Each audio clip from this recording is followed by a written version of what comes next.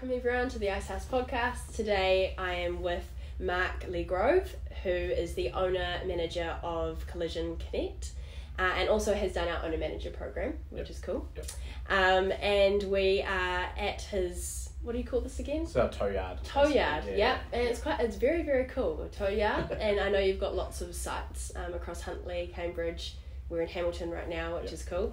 Uh, but yeah, just wanted to have a conversation about your business owner journey. So thanks for being on the podcast. No worries. Thanks Cool. for having me. It's cool. Quick fire is how we like to start things. So Yep. first question: book or podcast that you recommend?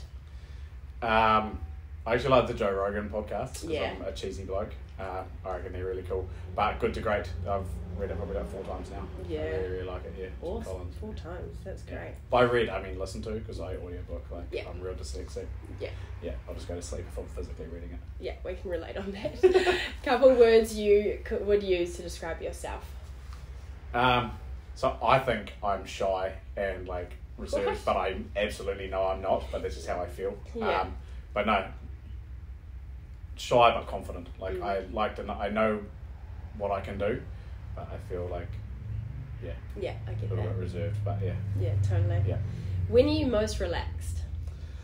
Um, at home with my kid when he's behaving. Like, Crucial. Yeah, yeah, absolutely crucial. Yeah. But yeah, just just enjoying a bit of quiet time and stuff, and everything else is going well, like business Yeah. and all that sort of stuff too. Yeah, cool. Coffee order. Ah, if I'm being good, short black with a sweetener. Um, if I'm not, oat milk latte with sugar. Nice. Yeah. First ever job. I was a sweeper boy at a place called Marshall Transmissions, which is like they fix transmissions in cars. Yeah. And I wanted to be a mechanic when I when I was school, so I think I was about fourteen years old, just turned fifteen. You know, turn up to sweep their floors every night, and Mhm. I would actually like rub up on the hoists to get greasy, because I wanted to look like I worked on the cars as a kid. So I still just remember. is so cool. I still remember a tradesman being like, "You sweep our floors. How do you get so dirty?" and we'd have been, "I don't know." No idea. Yeah. Don't look at me. Don't look at the cameras. exactly. Yeah, hundred percent. Yeah. That's awesome. Quite smart of you to do something in the industry you wanted to be in too. Yeah, yeah. Well, I thought I knew everything when I left school, and that I definitely wanted to. I knew I wanted to be a mechanic, and I did that for about a year, and I hated it. I hated having grease under my nails and all Yeah. sort of stuff. So Oh, so funny. Room of five or a hundred people. five. Yeah. Yeah, Good. definitely depends on the people, Yeah. but like, I'd Yeah. way rather be around just five people that we can sit and actually get to know each other rather than like I know you go to these big networking events where it's a hundred people and you're like I might meet one person and it's just awkward. You go up to like a people and you're like, so what do you do? Yeah. Like, you know, I'd way rather have five people that can sit and conversate together. Good call, good call. Okay, um, I love those answers. It was great. I would love if you could just tell us a little bit about yourself. What comes up when I ask the question, who is Mark? Uh, um, really, now I'm a father and a business owner, Yeah. and that's me. But before, like I've been, I'm a tradesman. I, I, I've done an automotive refinishing apprenticeship, which is car painting in layman's terms, but we call it refinishing because it sounds cool. Um, but it is like it's, it's very technical these days. And I, even when I did my apprenticeship, it was still quite technical, and it's even more technical now. Mm. Um, but yeah, so I'm, I'm a tradie at heart, really. Still like all tradie stuff, and yeah, just sort of moved over onto more entrepreneurial business Cool. stuff. Yeah. Cool. Yeah. Nice. And yeah, that career journey. You you know you said you kind of knew what you wanted to do, Yeah. and then you decided you didn't know what you wanted to do. How did the how has your career journey looked like, and then how did it lead to starting something of your own?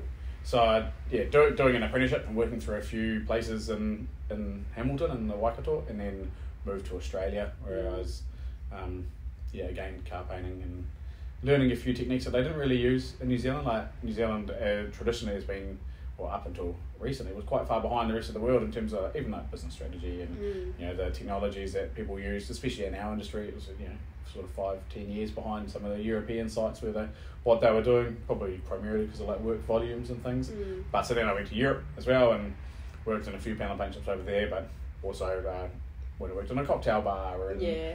sort of helped run a hostel and stuff like that that you do when you're, you're backpacking. Yeah. Um, came home, back into the trade. Uh, I was managing a site and got offered a, a job to go be a manager of a bigger site. And at that point, this was in Huntly.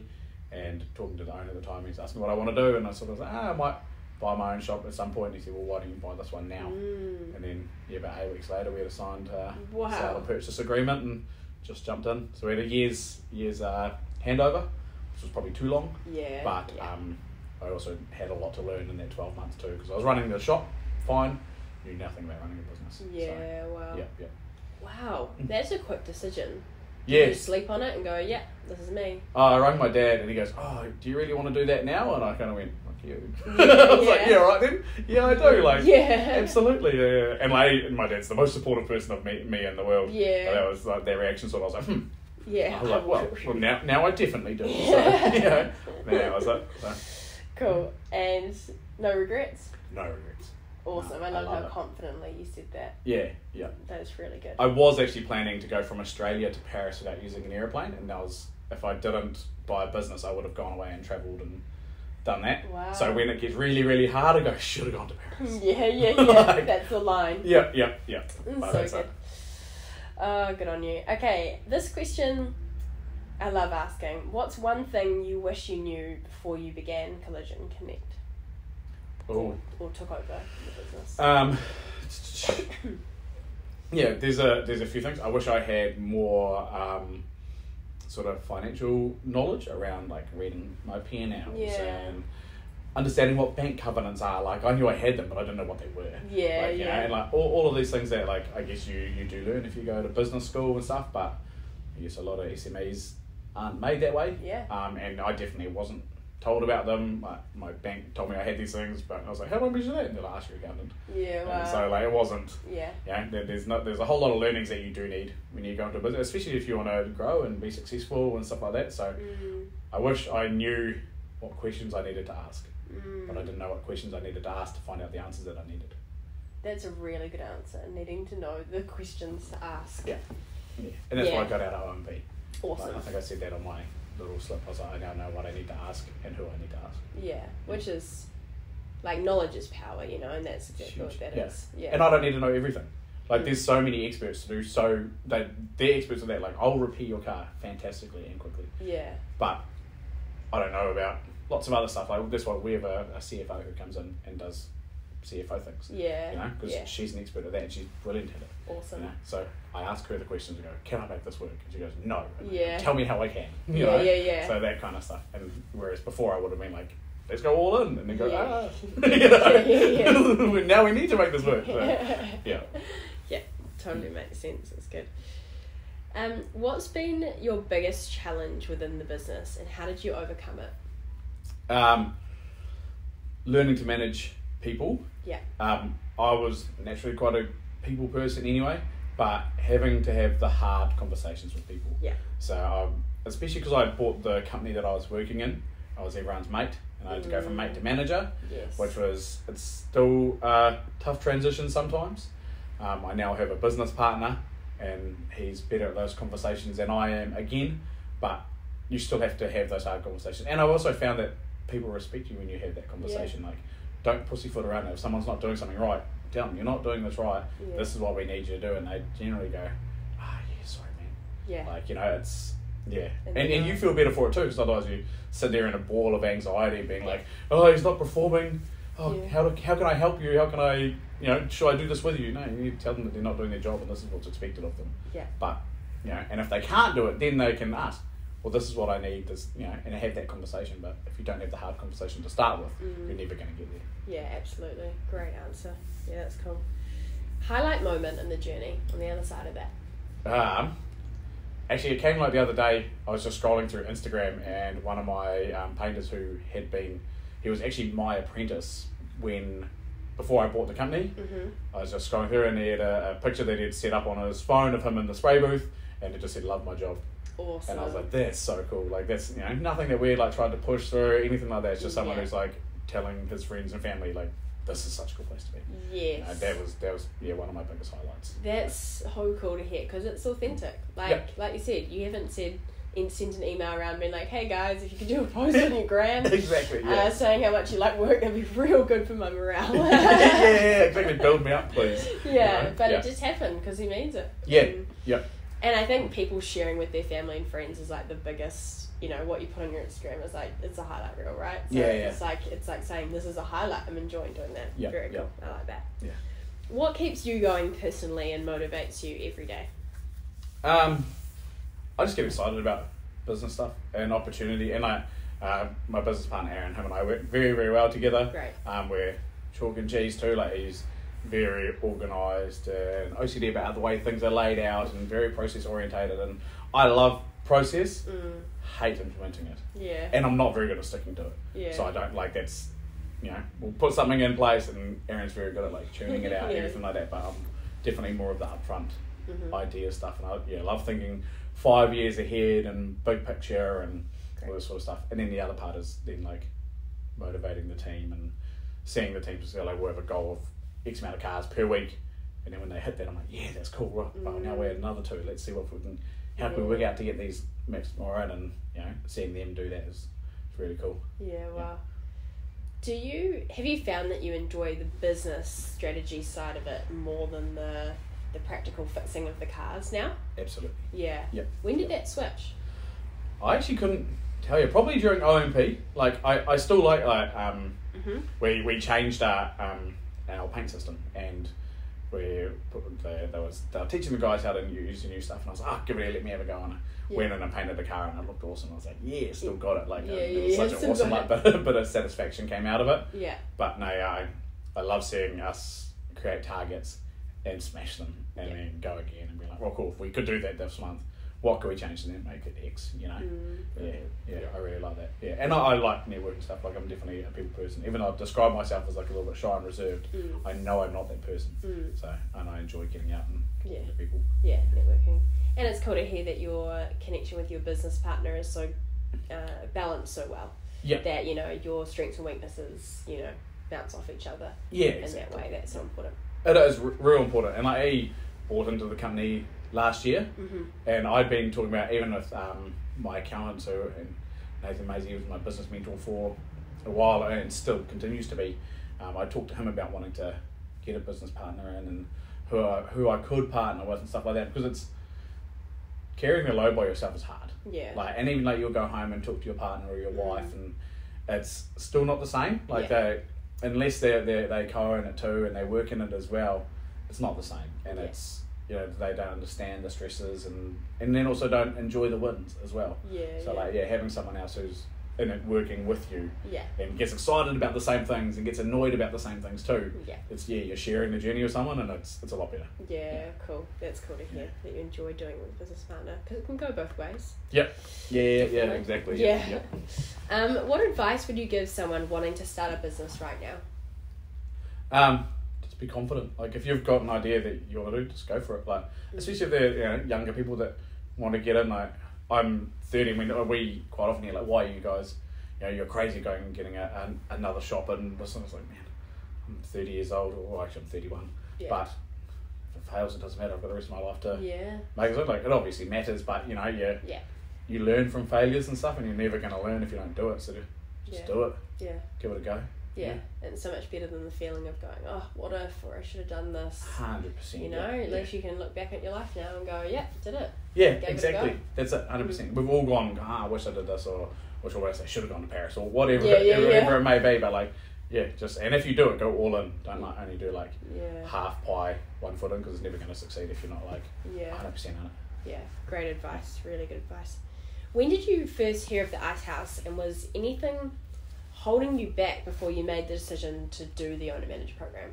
Um, I heard of the Icehouse through, I think it was through BNZ, Yeah. and I was talking because I wanted to do a sales skills course because that's again what I didn't, the things that I didn't know how to do. Like I Mm. didn't know as I could be good at selling or like where you even start to look at that sort of stuff. And I went on your sales school program. I think it was Derek that took the Mhm.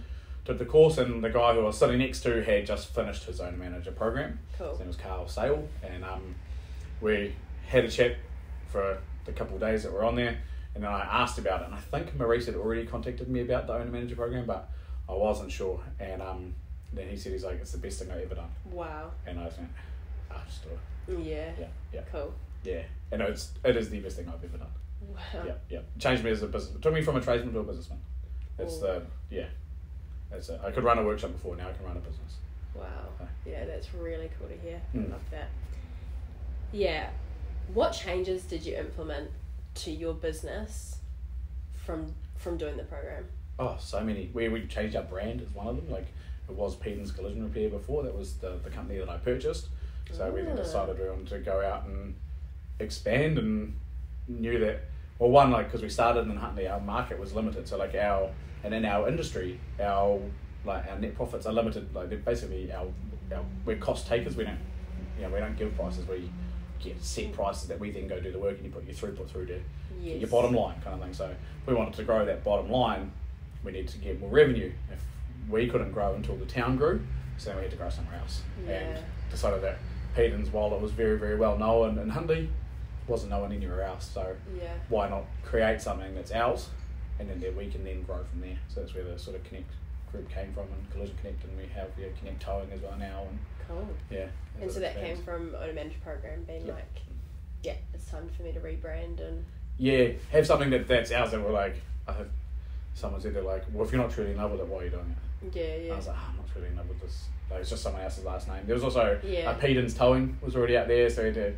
couldn't have that, and it was the guy's last name as well, and all this sort Yeah. of stuff. Like, probably could have, I don't know, put a put a trademark or patent or whatever it is on the yeah. on the name, and then bullied him out of using it. But it's not very nice, and that's not who I am. So you know, so we said, right, we'll start afresh and make something that's us. Yeah. So, and Good. we're stoked. Yeah. Good on you, yeah. It's really cool and clean design, like Yeah.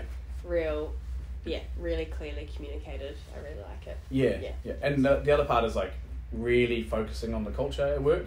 We've always had quite a good culture, but actually putting in the effort to Mhm. work on the culture constantly. So we have lots more reviews with our guys. Uh, we do surveys about the staff, and they give us very, very honest feedback on what they think of us and how the shops are managing, how they're running, Cool. problems they're facing. It's all anonymous too, so they can be as harsh as they want, and they're not going to get fired. Yeah, yeah. Um, as much as I want to find out who they are, I can't. Yeah. it doesn't matter. Um, but yeah, it did, did like open up the door for them to be brutally honest if they if they wanted to be. Yeah. But we also got some really really good feedback out of it and being able to implement some of the stuff that they've said. Hey, look, this is a problem. We go, oh, we actually didn't know that was a problem. So now we can work on changing it, and then that again builds the culture too. So they're oh, they're actually listening to us. Yeah, they're you know? actually making a change. Yeah, exactly. Yep, yep. Mm. And um, yeah, it really worked well. So, So great, that's great. Anything that you implemented and changed into your lifestyle? Or not so much? Um, definitely reading more or Cool. listening to audiobooks more. Yeah. Um, the part that I said in OMP that I didn't like about it was more like the resilient stuff around like your Mhm. own personal growth and stuff. And like I think if I did that now, Mm. I'd be way more into it. yeah, yeah. But I yeah. think it's because I was also still so new on my business journey that I was like, ah, that stuff can wait. You Yeah, know, But yeah. now I see how much important it is to Totally. to do it. Like you know, going to the gym in the morning, doing um, I took up MMA and I started right. training for that, and like now that's my meditation, you know. And I realize like now if I don't do that, I don't make as good decisions during the day and all those sort of things. There's no point being strung out at work for 14 hours Yeah. when you could go there for 10 hours, go for a walk with your kid, and go to the gym. Mm. You're still going to get the same amount done. Yeah, You know, you're just not going to be pulling your hair out for that extra four. yeah, And so so- true. Yeah, look after yourself first because you're not going to look after your company otherwise. Yeah, absolute gold. I love it. Did the program hit your expectations? Like, yeah, what were you expecting going in? And and going back to that question of, did anything hold you back? Like, going like, I don't know, I'm not not big enough for this, or Yeah. I'm not good enough as a human being. You know, like Yeah, yeah. I've heard all of those before. So one of the things I was like, I, and I still get it now, is like imposter syndrome. yeah, Like I remember when they said like that you're in this this is your OMP thing. They sent out the email with everyone, and I stalked everyone's email address and chucked them into Google and seeing us, and I was like, "Fuck! Look at these businesses. These are crazy." I was like, "I just fix cars." Wow, Uh, you know, and that was my thing. But there was also uh, another panel paint shop in our one, and he's he had an awesome shop, and I actually knew him as well. We're in, we're in a um, group together with our paint companies, and so and I was like, oh, you know, maybe I maybe I can come in here. But yeah, still then like talking to the other the other businesses and seeing some of them that are you know huge, like multi multi multi million dollar businesses, you know, and I was like, far out, look at Mm. this. But you know, I was two years into it where these other guys are 10, 15. I'm like, oh, you know, when I'm there, I'm, I'm going to be there anyway. yeah, So yeah, yeah, yeah, definitely. I was yeah had a lot of anxiety about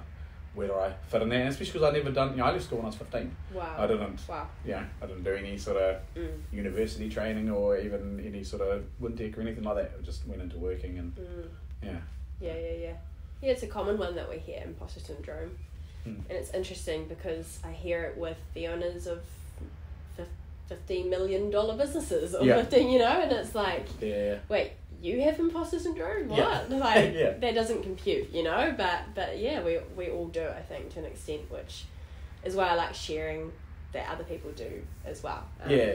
Yeah. So that everyone feels a little bit normal, you know. especially when you're like you're dealing with people who you're like, wow, there's like I don't know, like a the manager of an insurance company or, or something like that. Mm. They're like the big our big ticket customers, and these guys have you know Mm. five thousand people working for them or whatever, Yeah. and then you come in and you're like, oh, you like fishing too? Yeah. Oh, we're the same. Like Yeah, you know, yeah, yeah, exactly. everyone's just people. So like you know, as long as you can get along with people, it's yeah. it's yeah, we're all the same. So. Yeah, for sure. No, that's Mm. really cool to hear.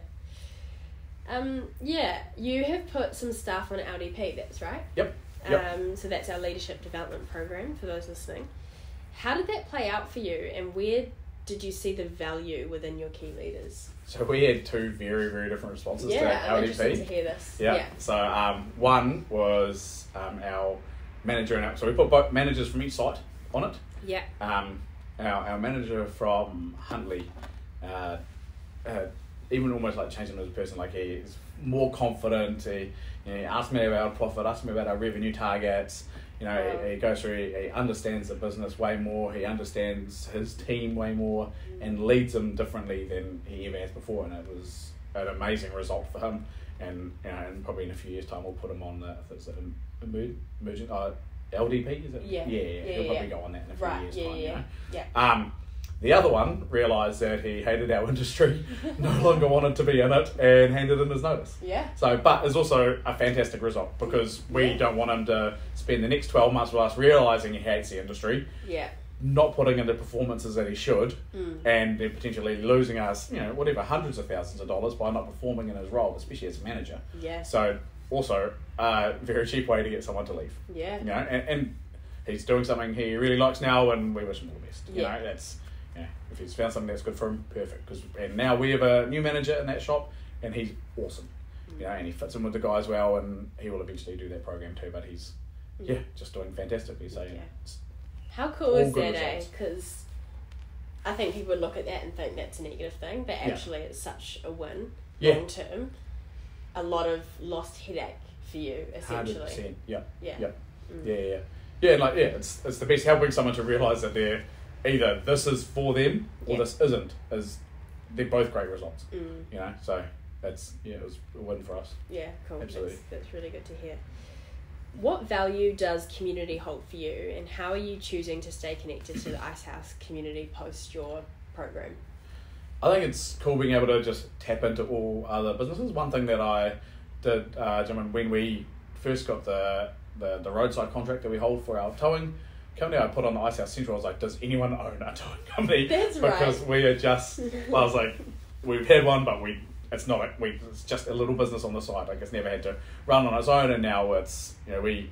I think we six x its revenue last year. Mm, So wow. and then went from just a little side business to a fully fledged operating business under its own steam, doesn't need the Mm. panel shops, and then went, shit, what do we? How do we do this? Like, Yeah. no, I can repair cars all day, but this was definitely different. So yeah, I reached out to um, Stuart from Parks Towing. Yeah. Had, had a couple of chats with him, um, and uh, you know once we're, I guess.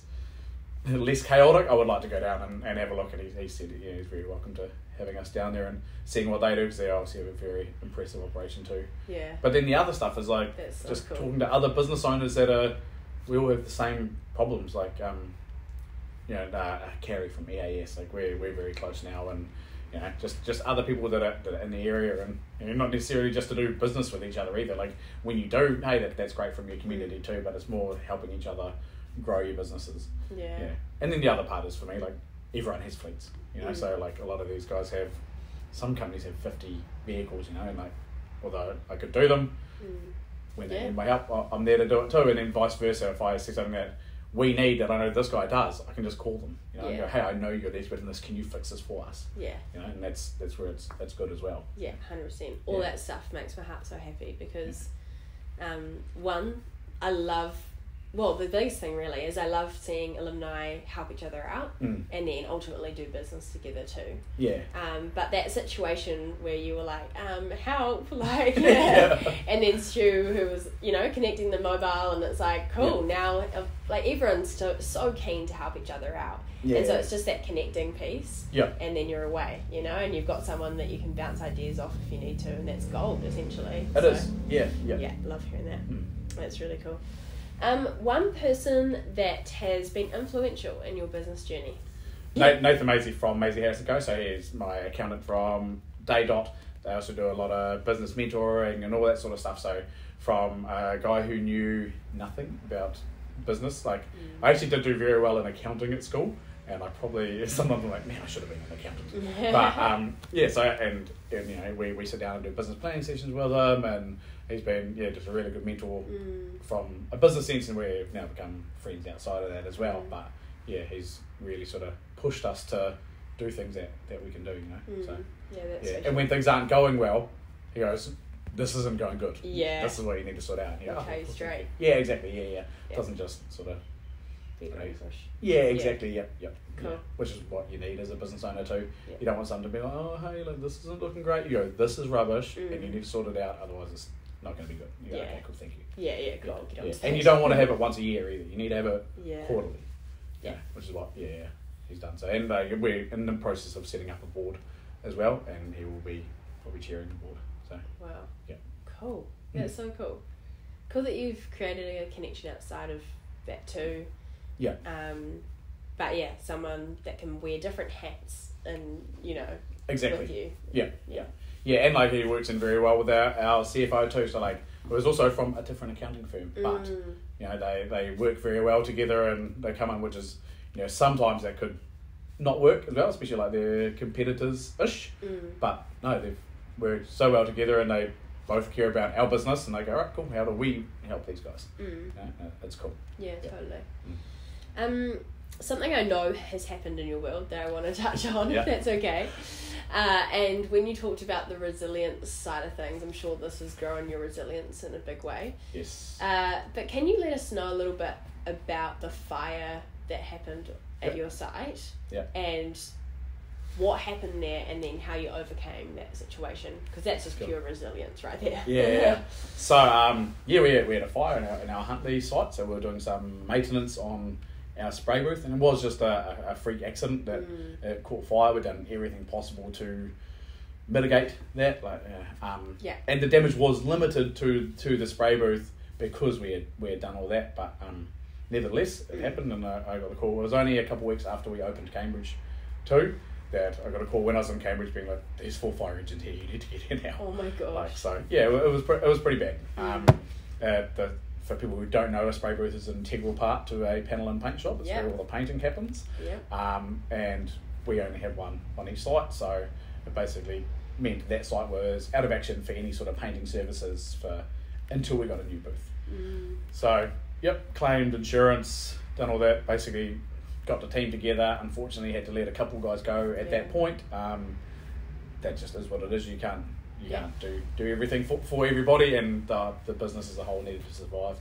Um, we yeah definitely had insurance, had coverage, learned a lot about that type of insurance claiming, which is Mm. um, sometimes doesn't cover everything that you think it does cover, and covers material damage and loss of income. But sometimes for us, it didn't cover a whole lot of uh, extra labour that our guys had to do to get vehicles ready for transport to then move over to the other site to get painted. So there was a big Yes, a big variance in what insurance paid us um, in comparative to our losses that we made.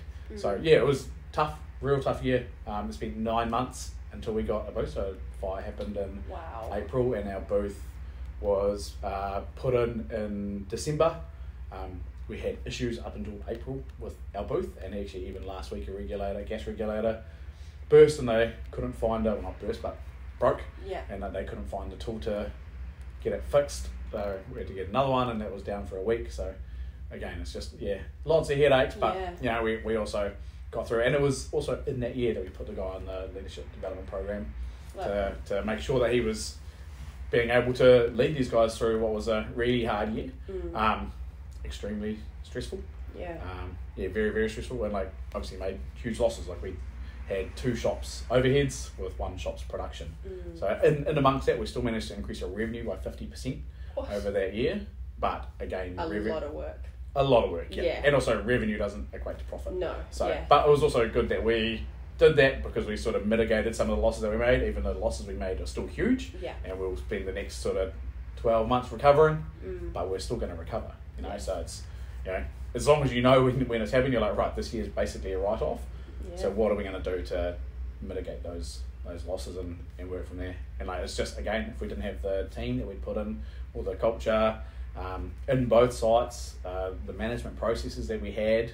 Mm. Um, again, lots of our stuff is online, so all of our computer systems are cloud based. So Great. literally anywhere we can look at a job and make adjustments that we need to and go ahead. So yeah, and as long as like our insurance partners were really helpful, talking to our suppliers and having to get extra long lines of credit and that kind of stuff. Um, yeah, otherwise we wouldn't have, wouldn't have got through. So yeah. It's heavy stuff, like because it is Yeah. a lot to mentally cope with. yeah, yeah. How did you personally cope with it? Was it just the the, the team? You know. Yeah, oh, there was a lot. I didn't probably didn't cope that well looking back at it now. Yeah. Um, yeah, buried my head in the computer. I actually this year got my team in Huntly together, which is where the, if I wasn't apologise to them because like I didn't picture how hard it was on them. Mm. I knew it was hard on me, and I didn't share how hard it was with anyone. Well, I did my business partner, but not as much like with the team. And I just like you guys only have to do this, and to me that was all they had to do. And I was like, Yeah. it's just your job, just do it. But Yeah. that's not the case. Like it was stressful on them too. They could see that like you know things weren't going well, and that they were wrapping out cars to go on a truck to get painted somewhere else, and that things were hard. Yeah. And I didn't share, let them share that load with me. Mm. So that was a big learning curve.